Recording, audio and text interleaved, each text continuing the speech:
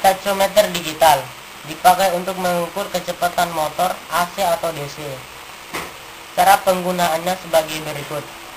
Sambungkan tachometer dengan putaran motor. Maka pada layar LCD akan muncul nilai RPM.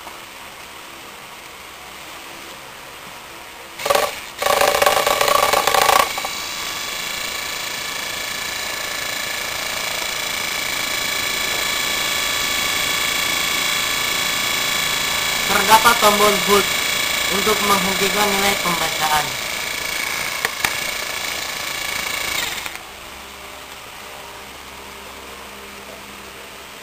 Tekan tombol HUT sekali lagi untuk melanjutkan nilai pembacaan.